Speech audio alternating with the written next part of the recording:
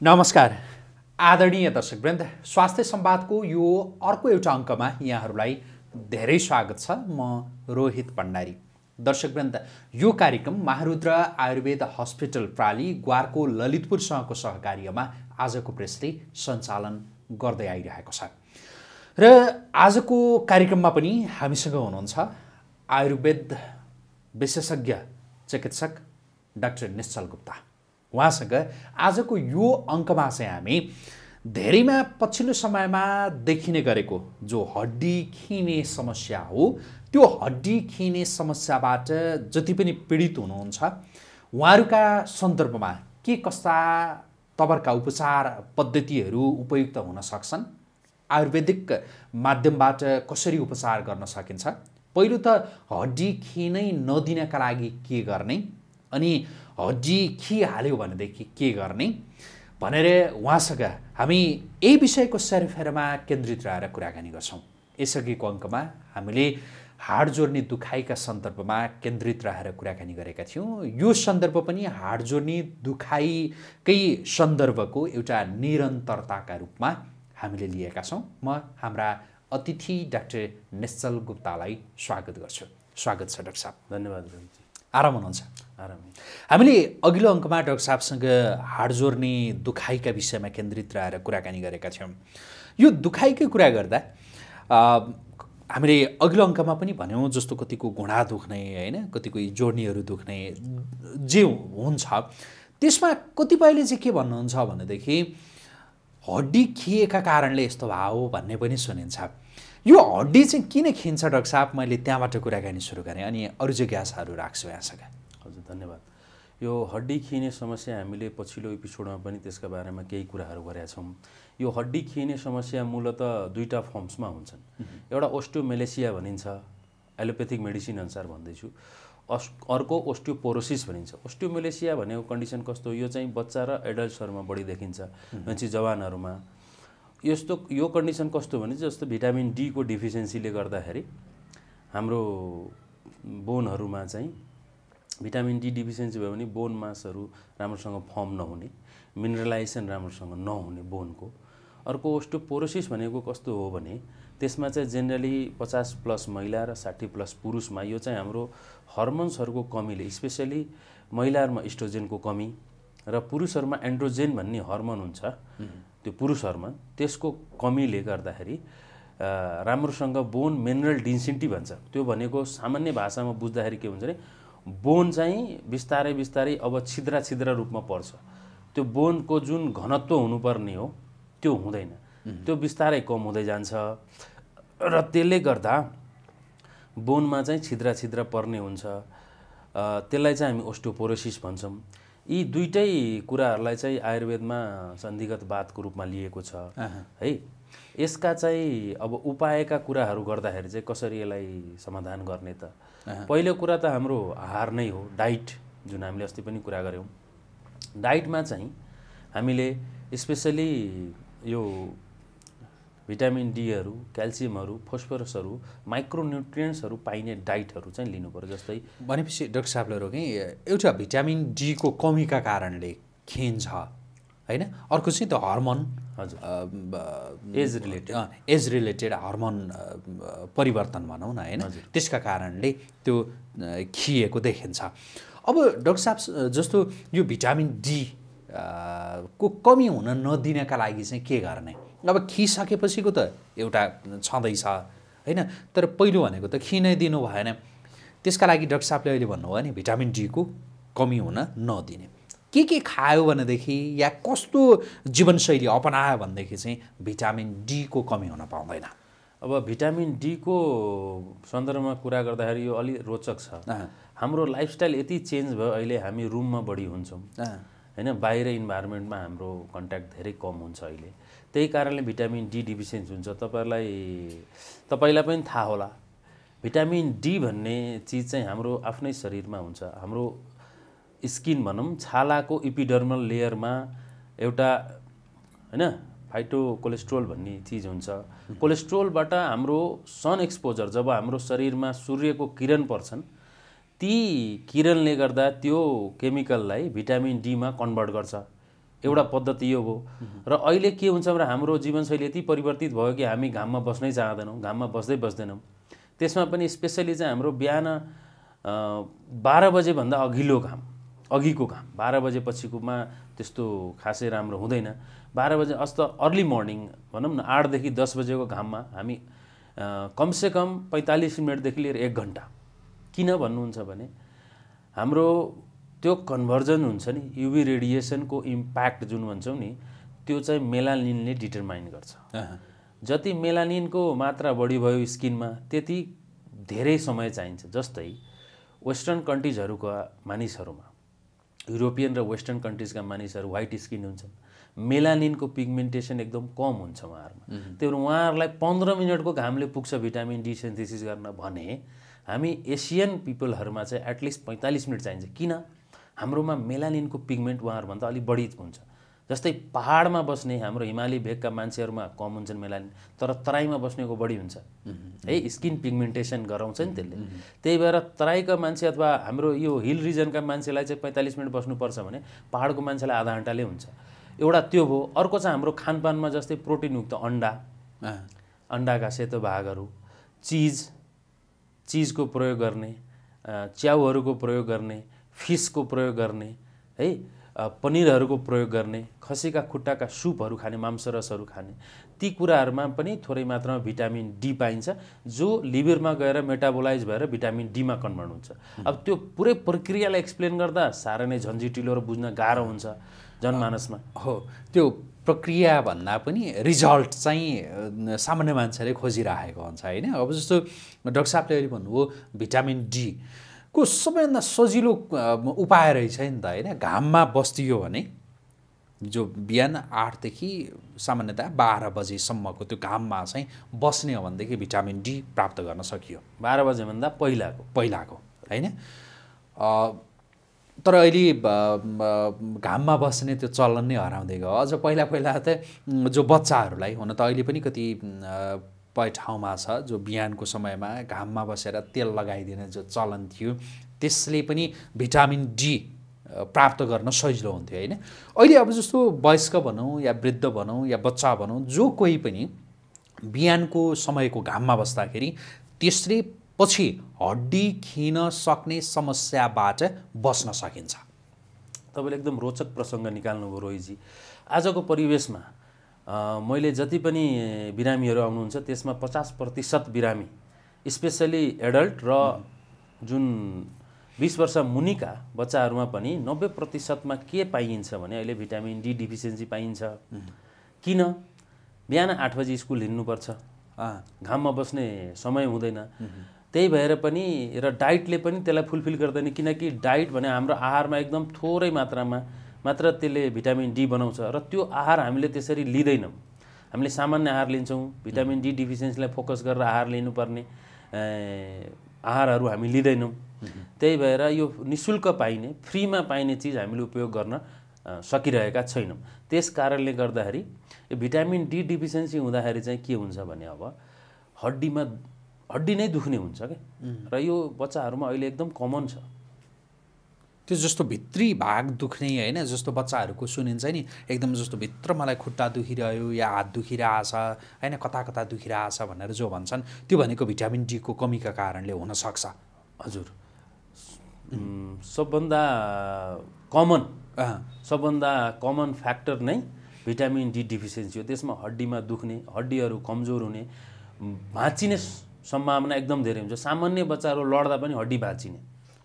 त्यो भयो भने चाहिँ भिटामिन डी एकचोटि चेक गराउनुहोस् भन्छु म सबैलाई चाहिँ। जस्तो कतिपय चाहिँ भनौँ न मात्रात्मक हिसाबले हेर्ने हो भनेदेखि एउटा मान्छे जसरी लड्यो उसलाई केही हुँदैन होइन? जुन प्रकारले लडिरहेको छ तर अर्को मान्छे त्यही प्रकारले लडेको स्थितिमा उसको त्यो फ्र्याक्चर भइरहेको देखिन्छ। यो भनेको चाहिँ हड्डी कमजोर हड्डी कमजोर। त्यो भयो चाहिँ भिटामिन डी डिफिसियन्सीले गर्दा हुन्छ। अर्को चाहिँ ओस्टियो जुन पोरोसिस भन्यौँ नि इल्डरली पिपलमा होइन एज पचास साठी माथिका महिला र पुरुषमा चाहिँ के हुन्छ भने ओस्टियोपोरोसिस हड्डीहरू छिद्रा छिद्रा पर्छन् त्यो चाहिँ डिमिनरलाइजेसन अफ द बोन भन्छ। त्यसमा चाहिँ क्याल्सियमको कमी फोस्फोरसको कमीहरू भएर र ओभर अल्कोहोलिजम पनि एउटा कारण भनिएको छ। ती कारणले गर्दा demineralization of the bone where के हुन्छ त्यहाँ भनेपछि बोन मिनरल डेन्सिटी चाहिँ हाम्रो घट्छ त्यो भनेको हड्डीमा त्यसको घनत्व घटेर त्यहाँ छिद्रा छिद्रा पर्नु र त्यो एकदम चाँडै नै भाँचिने कमजोर हुन्छ कमजोर चिज त भाँचिहाल्छ लडेपछि। होइन त्यही भएर त्यस्ता केसेसहरूमा चाहिँ फ्र्याक्चरका केसेस चाहिँ बढी पाइएको छ। अर्को डाक्टर साहबले अघि भन्दै हुनुहुन्थ्यो जो उमेरका कारणले जुन हड्डीमा पर्ने छिद्रहरू अब यसलाई पनि रोक्न त सकिएला नि। कि के हुन्छ डाक्टर साहब यो चाहिँ? सकिन्छ। यसलाई चाहिँ लाइफस्टाइल मोडिफिकेसन भन्छौँ हामी। जीवनशैली परिवर्तन गर्नुपर्छ हामीले पहिलो त तौल नियन्त्रण गर्नुपर्छ। हाम्रो शरीरको तौलको भार चाहिँ हाम्रो जोइन्टहरूमा जोर्नीहरूमा पर्ने हो। जस्तै यो ओस्टोपोरोसिस हुँदा सबभन्दा बढी भाँचिने सम्भावना भएका हड्डीहरू भनेका यो कम्मरका हड्डी हुन्। यो हिप रिजन भन्छौँ नि हामी। त्यहाँ चाहिँ सबभन्दा बढी वेट बेयरिङ गर्ने हिप र नि रिजन भनौँ न घुँडाले। घुँडा र हाम्रो कम्मरले हो शरीरको भार। जति शरीरको भार बढी भयो त्यति नै प्रेसर पर्छ हाम्रो हड्डीहरूमाथि। होइन? त्यही भएर शरीरको तौल नियन्त्रण गर्ने। अरू रोगहरू छ भने त्यसलाई नियन्त्रण गर्ने जस्तै सुगरका कारणहरूले पनि हड्डीमा समस्या आउँछ। सुगर छ भने सुगरलाई नियन्त्रण गर्ने। होइन? किडनीका रोगहरू छ भने त्यसलाई नियन्त्रण नियन्त्रित कन्ट्रोलमा राख्नु पर्यो। र सँगसँगै त्यसका खानपानमा ध्यान दिनु पर्यो। क्याल्सियमयुक्त खानेकुराहरू अथवा फोस्फेटयुक्त माइक्रोन्युट्रियन्ट भएका खानेकुराहरू त्यो सकिएन भने क्याप्स सम निश्चित समयको लागि धेरै समय त म भन्दैन तर निश्चित समयको लागि पैँतालिस दिनदेखि लिएर साठी दिनसम्म क्याल्सियमको सप्लिमेन्टेसन लिँदा पनि त्यो डिफिसियन्सीलाई चाहिँ ओभरकम गर्न सकिन्छ। भनेपछि जस्तो खिसकेको या त्यो छिद्र परिसकेको हड्डी भनौँ न त्यो फेरि पलाउने सम्भावना चाहिँ रहन्छ? त्यो फेरि पलाउने सम्भावना चाहिँ रहन्छ। किनकि यो भने हाम्रो बोन भनेको एकदम कन्टिन्युस प्रोसेस हुन्छ कि मिनरलाइजेसन डिमिनरलाइजेसन। अब त्यो चाहिँ न्युट्रिस न्युट्रिसन र लाइफस्टाइलमा फरक पर्छ। अब कम्प्लिटली न्यू चाहिँ बन्दैन। है। जुन जुन भाग हाम्रो कम छ त्यो चाहिँ हामीले डाइट र मेडिसिनबाट गऱ्यौँ भने त्यसलाई चाहिँ रिकभर गर्न सकिन्छ। सम्पूर्णतया त त्यो नयाँ बन्दैन। त्यसमा चाहिँ भ्रम धेरै भ्रम छर्नु हुँदैन होइन?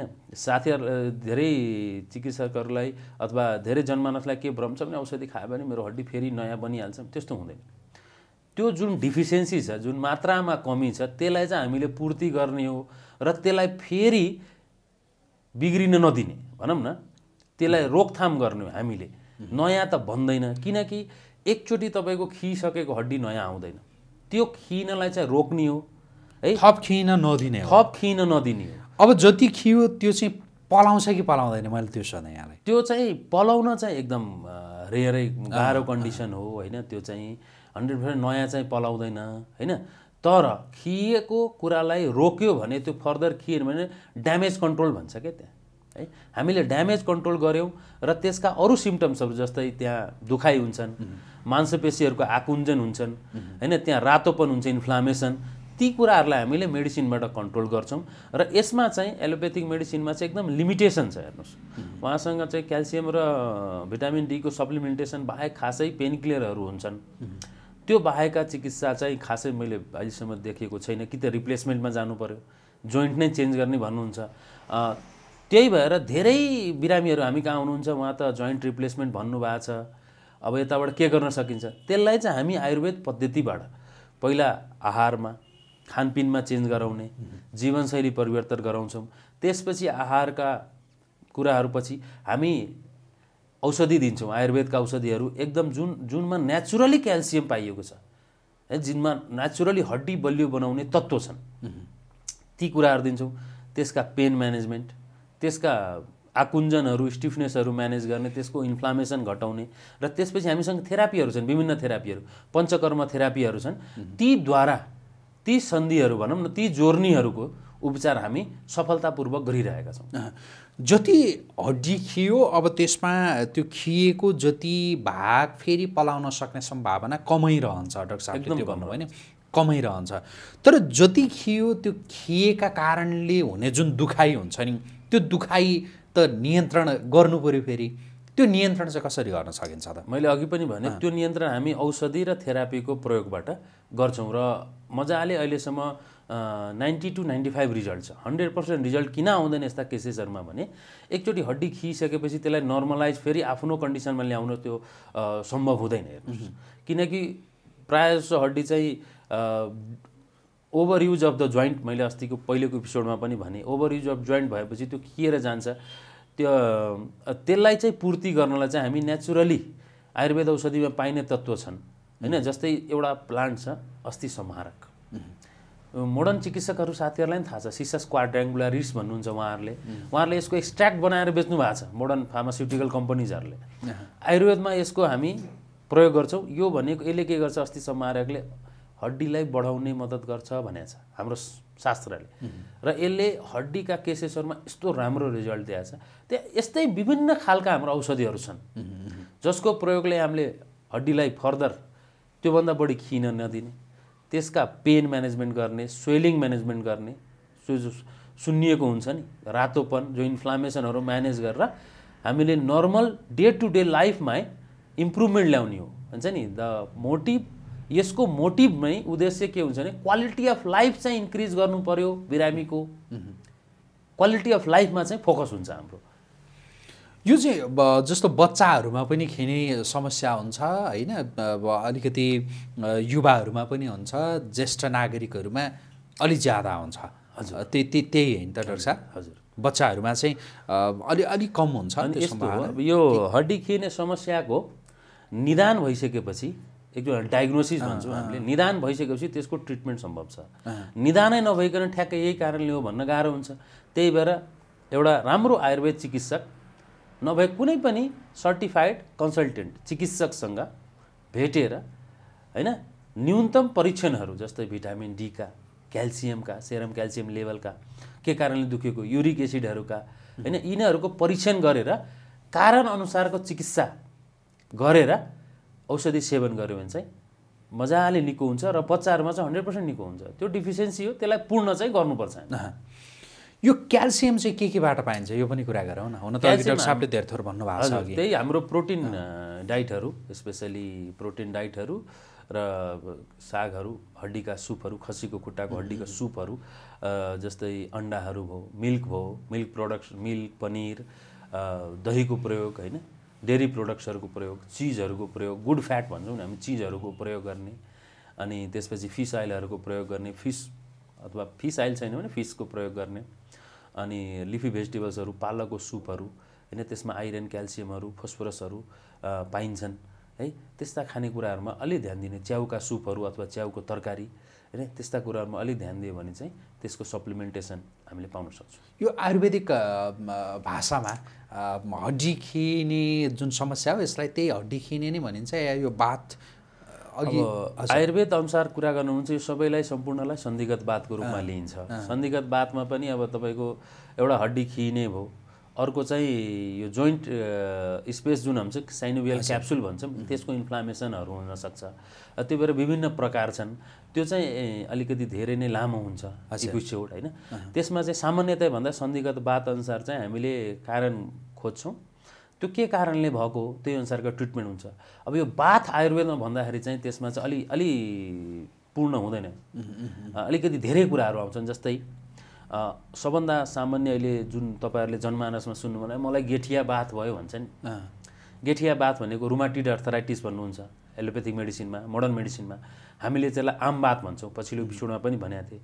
त्यसमा चाहिँ के हुन्छ भने त्यसको अनसेट हुँदाखेरि यो त अटो इम्युनिटी कन्डिसन हो। हाम्रो आफ्नै रोगसँग लड्ने क्षमतामा गडबडी भएकर त्यो आउँ डेभलप हुने डिजिज हो।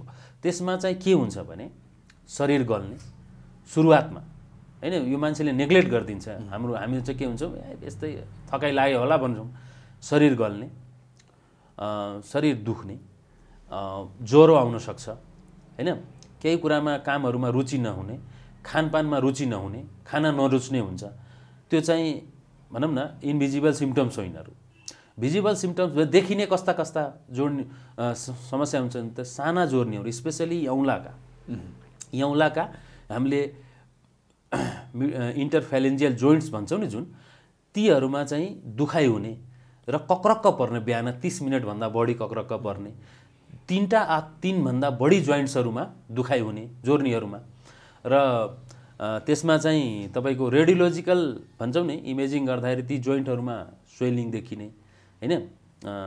डिफर्मिटी देखिने अर्को चाहिँ यसको कालान्तर चाहिँ छ हप्ता वा छ हप्ताभन्दा बढीदेखि हुने यी कुराहरूलाई चाहिँ हामीले अमेरिकन रुमाटोलोजिकल एसोसिएसनका डायग्नोस्टिक क्राइटेरिया छन्।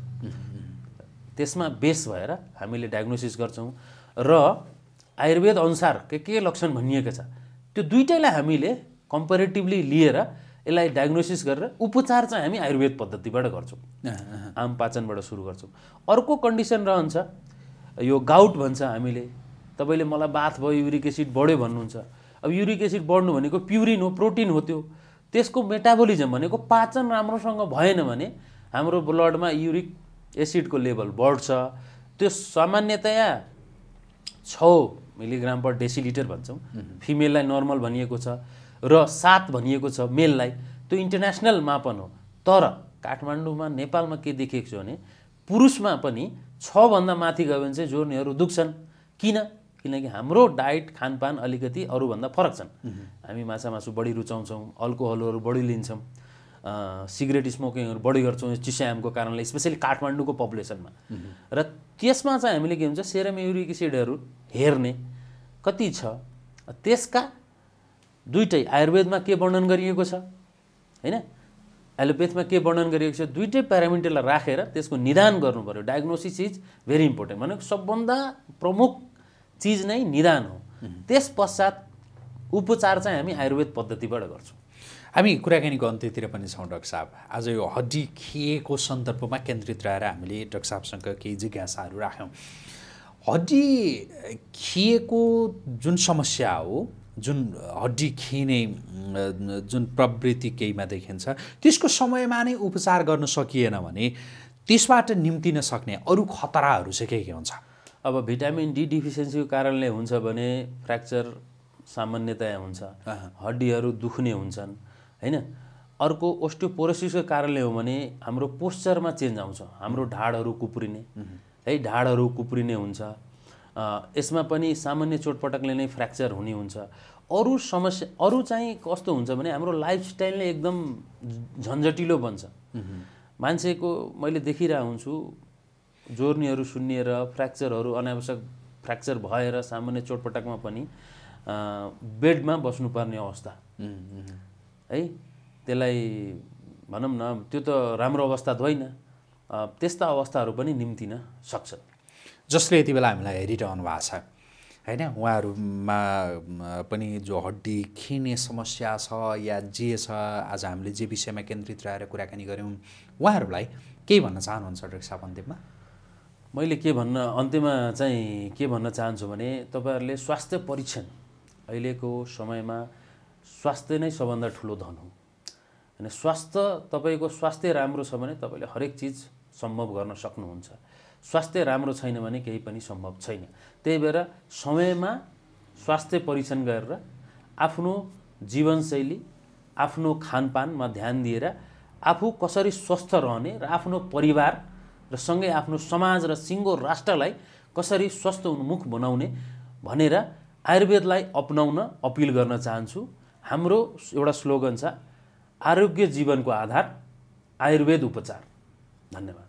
हस् डाक्टर साहब दर्शकवृन्द हामी कुराकानी गरिरहेका थियौँ। आयुर्वेद विशेषज्ञ चिकित्सक डाक्टर निश्चल गुप्तासँग।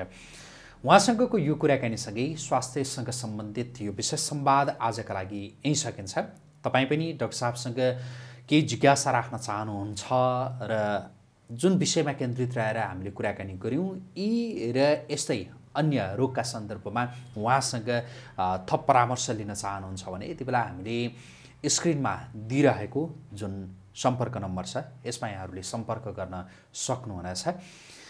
स्वास्थ्यसँग सम्बन्धित यो विशेष संवाद हामीले महारुद्र आयुर्वेद हस्पिटल प्राली ग्वारको ललितपुरसँगको सहकार्यमा सञ्चालन गरिरहेका छौँ र महारुद्र आयुर्वेद हस्पिटल यो ग्वारकोमा बिएनबी हस्पिटलको अपोजिट साइडमा रहेको छ। यहाँहरूले सिधै त्यहाँ गएर पनि सम्पर्क राख्न सक्नुहुनेछ। यही आग्रहका साथ आजका लागि हामी यो स्वास्थ्यसँग सम्बन्धित विशेष संवादबाट छुट्टिन्छौँ। पल पलको अपडेट ताजा बहस र विश्लेषणात्मक टिप्पणीका लागि आजको प्रेस। हेर्दै गर्नुहोला। नमस्कार।